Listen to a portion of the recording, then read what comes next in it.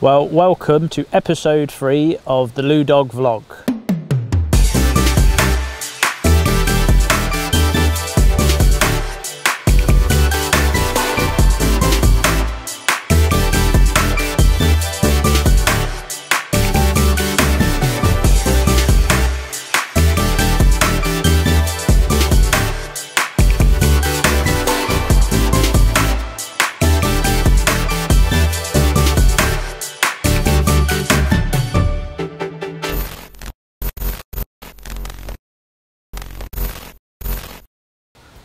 Been another very busy period in my life, both from a fishing point of view and a work point of view, and to be fair, also a socialising point of view as well.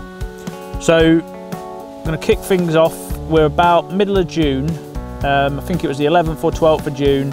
I'd met up with Brad to film the links for episode two. You might recall that was filmed in the office. Uh, we had a busy day of meetings that day. So um, yeah, it was good to catch up with the whole Fox European team, sort those meetings out, make plans for the rest of the year ahead. Um, and uh, yeah, that evening I managed to uh, get down to my syndicate lake on the way home, put a bit of bait in. And it was a few days later on that Friday where I was finally able to take Piper the carp dog fishing for a first night on the bank is uh, as a real keen carp angler and a dog lover, I've always dreamt of having my own dog that can take fishing with me. Um, and since we got her, I've been counting those days down until she could actually spend a night on the bank. Uh, it's actually going to be not only her first night, but it was also Abi's first night as well. Despite being together for eight years, I've never actually um, had her in the bivvy for a night or two fishing. She's come and visited me plenty of times, but uh, I've always um, liked my own space, as it were, when I'm fishing. So uh, yeah, we decided we're doing just the one night on the ski pit, and I had a mountain of gear. It was the most amount of tackle I've ever taken for an overnighter. Two-man bivvy, two bed chairs, cooking stuff for two people, food for two people, stuff for the dog. Um, yeah, crazy amount of gear just for a quick night, but um, it was well worth it. I really enjoyed spending the night with Abi and with Piper. I think Piper enjoyed it. I'm not sure Abi was that uh, impressed, especially with my cooking. I don't want this to be in the vlog, me eating How's your chicken? chickeny, Living the dream. lack of vegetables and carbohydrates and colour. Very beige dinner. Um, served her up my uh, speciality when I'm doing a night on the bank, and that's some southern fried chicken goujons and some barbecue sauce. Um, yeah, she didn't seem very impressed at all. I'm not sure what she thought I uh, ate when I go fishing, but uh, by the look on her face, she thought it was probably a little bit healthier um, and probably a little bit more diverse than some southern fried goujons. So yeah, that was uh, an unfortunately an uneventful night again on the ski pit. Um, I was back on the uh, the main ski straight where I'd been concentrating the spring, but the fish just just didn't seem to be there, and uh, not even a tench paid us a visit. So it was a very quiet night. I decided it was a long overdue decision was to start baiting a different part of the lake, a different area that I had overlooked so far. Looking back on it now, I'm really annoyed with myself that I didn't start doing that right at the beginning of the spring campaign. I concentrated on two main areas of the lake and I left the long straight with the main big island totally neglected and by a sort of process of elimination I felt sure that the fish were probably in that part of the lake. The following day after doing the pre-baiting on the new areas I was actually uh, out on the bank working this time with one of my colleagues, Matt Rand, who's the brand manager for Fox Rage Sal and Salmo. The job in hand was to actually get some photos of some new barbel rods in use. Now, due to uh, my job role these days, I don't really get out on the bank that much with the camera anymore. Um, there's other guys doing it, but um, yeah, the plan was hatched to uh, spend a couple of hours on the bank with Matt, getting these barbel rods shot, and uh, yeah, just just keep my hand in, I suppose, and uh, get a bit of fresh air rather than being sat in front of a computer looking at spreadsheets. So that following Friday after work, I was back up to the ski pit, full of enthusiasm, hoping that the areas that I'd baited in the week, the new zones, had been fed on, um, and there was indications that carp had been in those areas. Unfortunately, um, I've launched the boat on my normal area on that main ski straight and checked those areas first. Um, and I was met by the sight of all the eelgrass weed that was all onto the surface a few days earlier had all died and sunk to the bottom. We'd had four or five days of solid rain and um, it seemed to have killed all of that eelgrass weed. It, it all sunk down and you could just see it, big balls of it all matted up on the bottom. So final protocol was to drive the boat all the way back round and into the dogleg area. Now this dogleg area doesn't have eelgrass, it's a bit deeper um, and it has Canadian pondweed or whatever you call it. And uh, this stuff was still there, still coming up to probably two foot under the surface. Um, and it looked a lot more vibrant and a lot more sort of inviting to fish, I suppose. Also, there was no bait on those areas, so I thought that's a good sign, something's been feeding, so I decided to do the night there. Um, unfortunately, um, I think about two in the morning, I got done by a tench, a few twitchy bleeps, when I reeled in, no lead, and my uh, hinge stiff rig was all twisted where the fish had obviously managed to shake it and get away.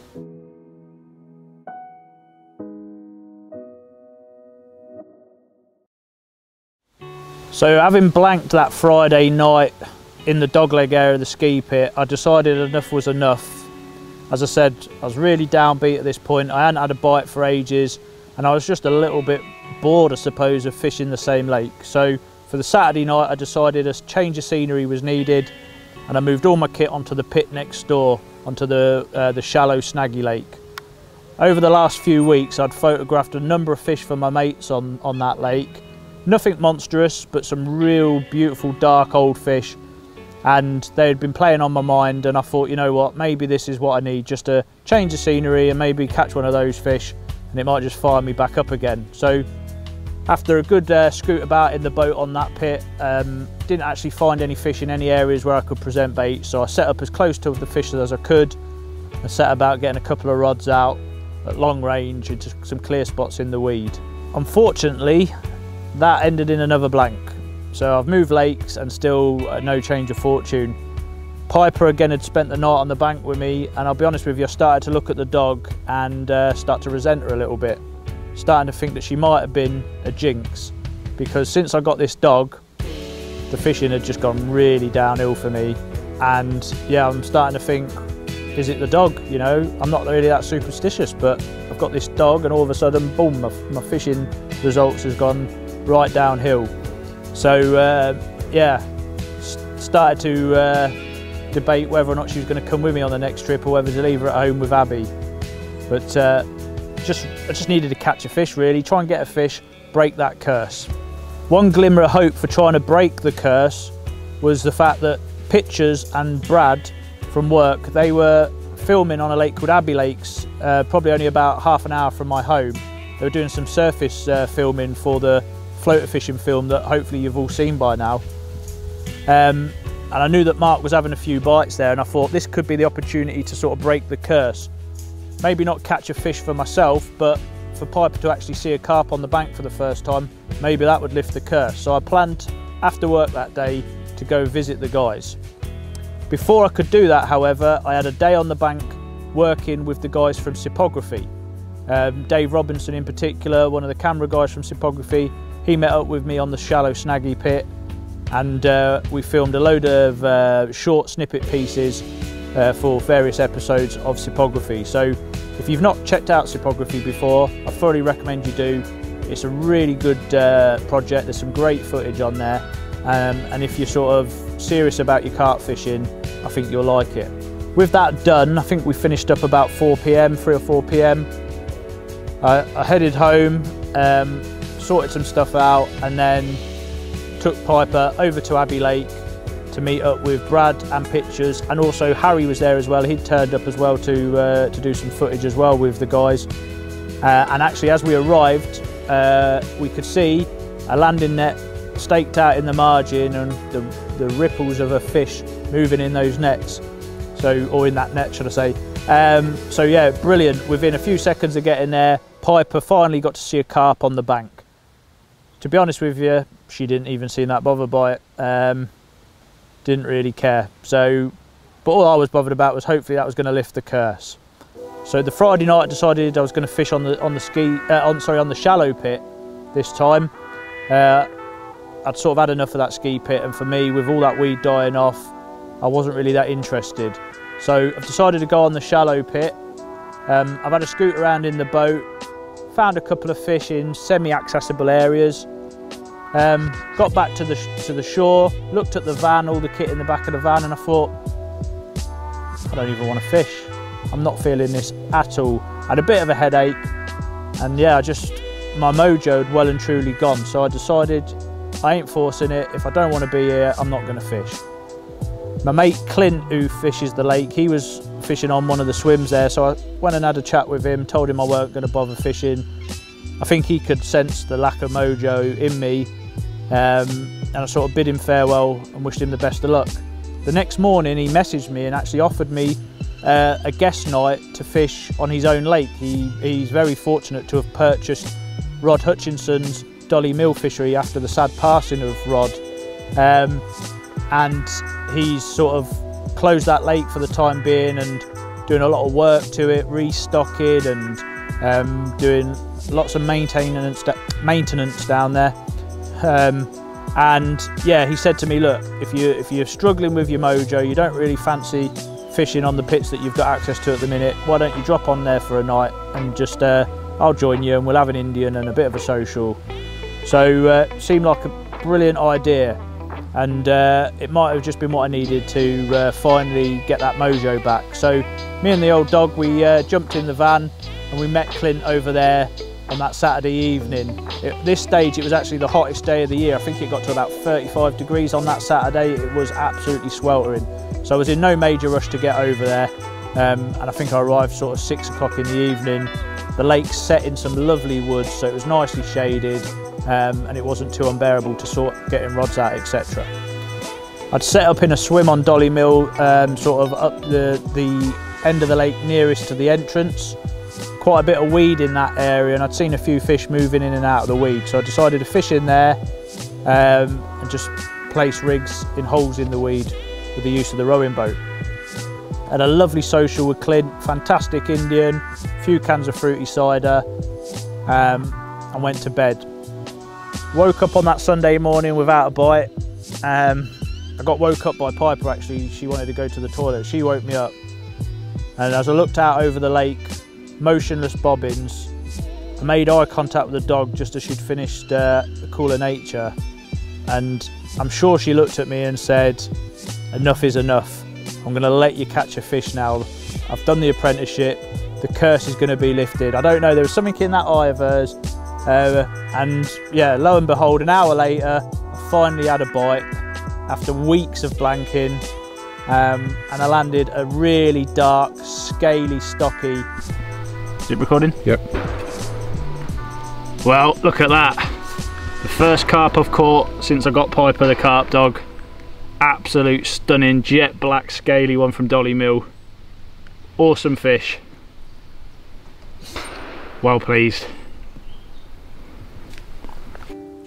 so with that um, I had to reel in pretty early that, that Sunday morning unfortunately uh, I'd have liked to have stayed and done a bit of stalking but um, it was going to be my birthday on the next day on that Monday and we had a couple of friends Lee and Hannah who you may remember from episode two when we went out and enjoyed some fantastic spare ribs.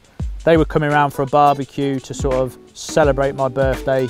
So I had to get back because I was going to be in charge of cooking the food. So I needed to get back, get cleaned up, empty all the gear out and then uh, get the barbecue lit. So as I said, it was uh, my birthday on the following day. That's the 1st of July. And sadly, I had to be at Fox HQ on that day, which meant a 5am start for the long drive down to Essex not the best of uh, things that you want on your birthday after spending a weekend uh, indulging in fishing and alcohol. But it had to be done.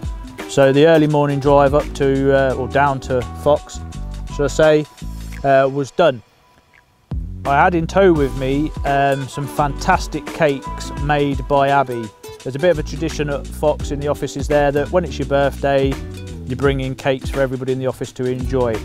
Uh, and because Abi's a bit of a, a master baker in her spare time, I uh, was very lucky to be able to take a load of cupcakes and also a big white chocolate birthday cake in for everybody to enjoy. Um, and it was very, very nice. So big thanks to Abi for doing that and uh, ensuring that I didn't have to go to the trouble of going to the supermarket and buying stuff for everybody. So that was my birthday out of the way. I think I got home pretty late on that Monday. I was very tired. Um, but yeah, it was nice to uh, to see a few guys, a few of the guys in the office, and then spend the evening at home with Abi. So that week, um, I didn't do any pre-baiting on the ski pit or the snaggy pit. I didn't even visit the lakes for a walk round, see the guys fishing there, anything. I'd sort of totally, in my mind, decided that my fishing on there for this summer was over. Uh, the last time I'd been down, there's a big algae bloom starting to spring up on the ski pit. Uh, there's a few guys putting in a bit of time on the on the snaggy pit, and I felt a little bit sort of like me being there half-heartedly was sort of interfering with their fishing, and I weren't really feeling it. I've turned up sort of in the summer after they've been having to go through the spring, so I decided um, that I, that I was sort of done on there. I was actually counting down the days until my syndicate in Lincoln reopened after spawning that was due to open on the 12th of July, so I had sort of one more week to uh, kill some time before I needed to start fishing on there again. Um, my good mate Tony, who uh, travels all the way from Oldham down to the sort of Peterborough area normally for his fishing, he also got a ticket for the, the Lincoln Lake and he was also sort of in a predicament of having nowhere really to fish for a few weeks until it reopened. So spoke with him um, and we decided to uh, arrange a social um, to get out and hopefully get a bend in the rod. So we decided to uh, go to Old Mill Lakes, onto Birch Lake we booked on there, um, the same venue where we filmed the Fox uh, session film that, uh, as I'm sure most of you would have seen, turned out fantastically well. Um, and I just couldn't believe it was only sort of two, two months or two and a half months since we'd filmed that uh, movie there and it had just grown up so much. The trees were much greener, the reeds were much greener, there was weed everywhere. It, it looked really nice and uh, as we did a lap round we found quite a few chunks close in in the weed. Um, a lot of chunks close in and uh, I thought this is too good to be true. Like we, we can literally sort of underarm and be fishing right next to these big ones. As it turned out, it was too good to be true because early in the uh, in the early hours of that night or morning, as you want to look at it, um, the fish all started spawning. They went absolutely berserk for hours. So the rods were wound in and we left them to it. And I thought it was a bit sort of fitting of my luck over the last few weeks that uh, that, that had happened. Chris, the owner of Old Mill, he was also fishing on Birch that night and he had to reel in too. And he asked myself and Tony if uh, we'd like to do a few hours test fishing for him along with himself and one of his friends on the older lake which is going to be opening next year as an exclusive booking lake.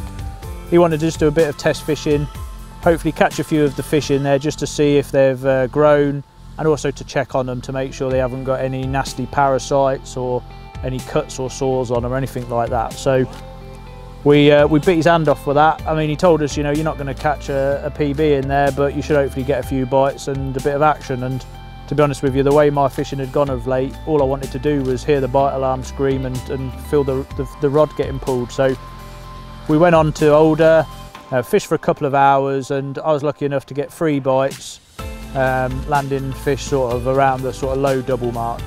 Um, great bit of fun, um, but you know, sort of still left us with a predicament of somewhere to fish on that Saturday night. Tony had travelled all the way from Oldham to Market Rasen. It must be, I don't know, two and a half, three hour drive for him. For me, it was an hour and a half.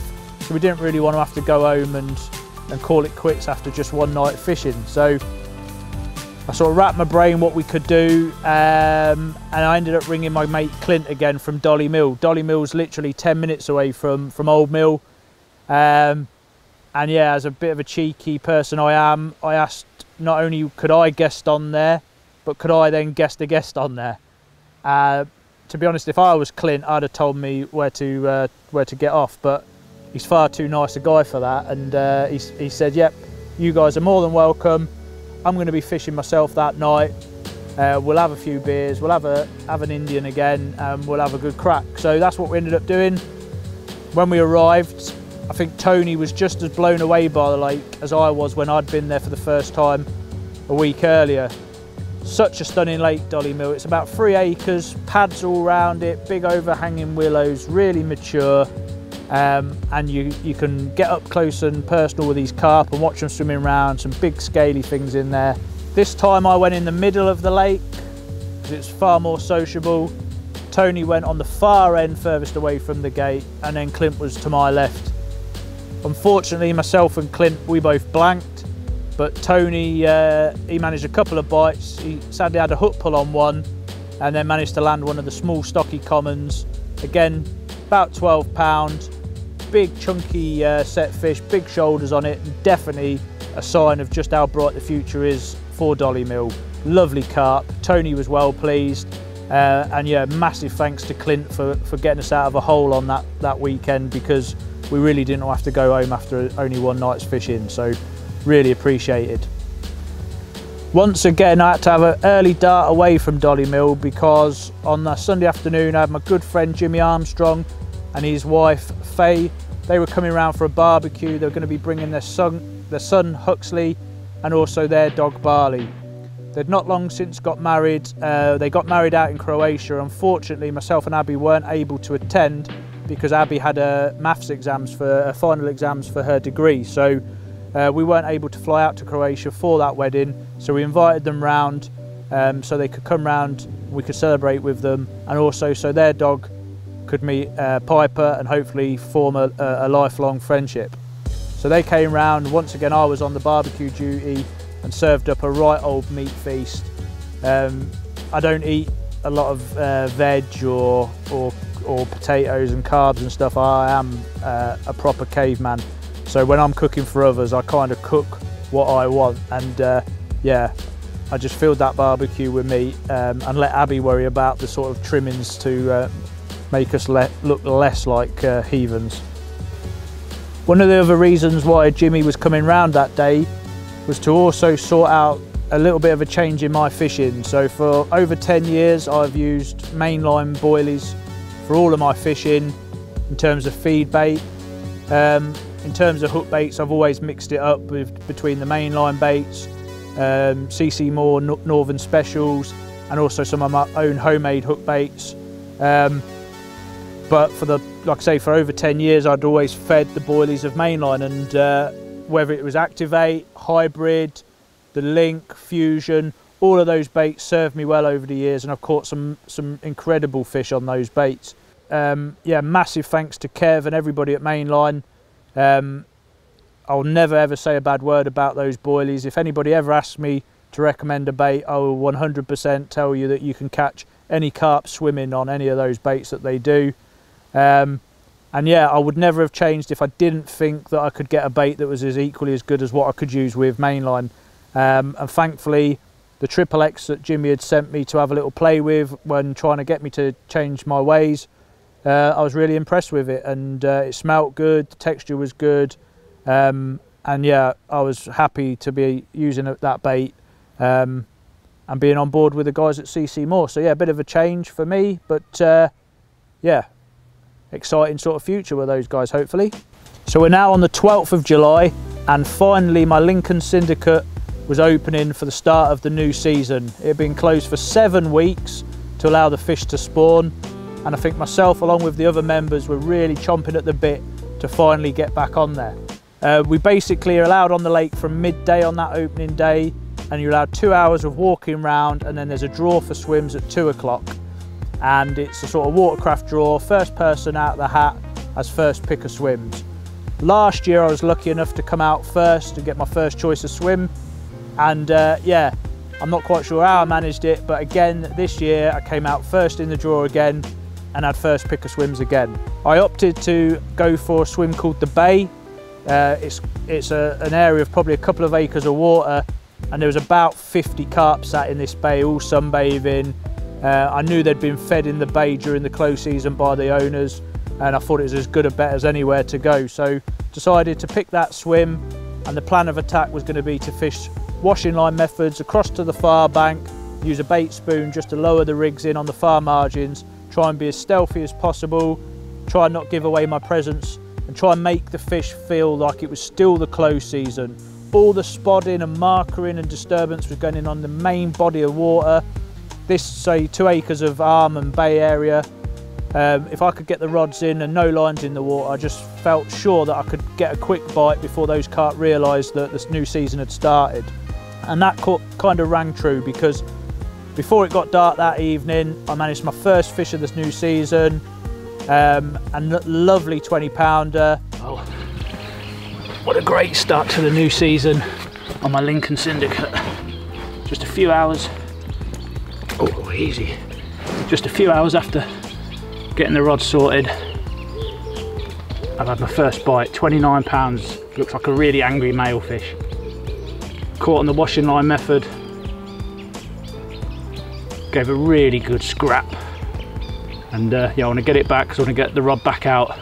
So I think there might be a chance of another one yet.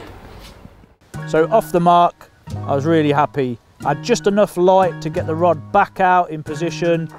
Um, and yeah at first light that following morning that same rod was away again. Same rod's away again for my second fish of the weekend. 26 pound 10 looks to be another angry male. Really feisty fish. Gave me a great scrap.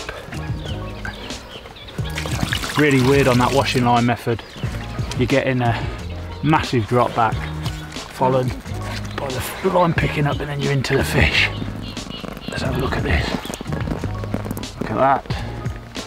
Absolute beauty. Same tactics as the first fish.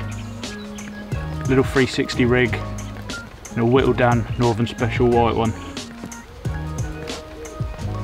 Absolutely buzzing. I think uh, there's a good chance of some bites during the daytime today, so I'm going to try and fish as much as I can today. Really pleased with this get her back. Yeah, it's fair to say the old mojo was back. Um, the fire would, had been relit and it just couldn't have come at a better time for me. Uh, I needed a new water, I needed a new challenge to fire me back up. Uh, and a couple of bites on the first night back on the Lincoln Syndicate was certainly what, what did that. So that was brilliant. Um, the fish left that area that day, the weather changed completely, it went a lot colder, the wind blew in a different direction and the fish left. Now I should have moved swims, but being the opening weekend, there wasn't really many options to go to where I felt I could catch fish. So I decided to stay put just in the hope that my target fish from the lake, one called the Big Trouty, which is a big 40 pound linear, it's got a bit of form in the bay in the summer for getting caught. So I just sort of held on to the hope that maybe she hadn't left the bay and she was still there. But yeah, I woke up Sunday morning biteless and uh, yeah, it's kind of, it was inevitable really. I knew I wasn't going to catch.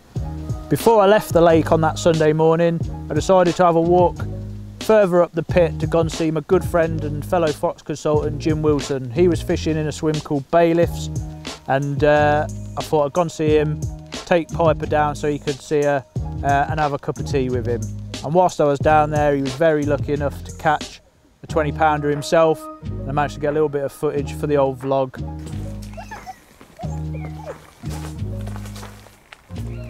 Right, old deformed thing, isn't it? Fish ain't great either. Oh, here he goes.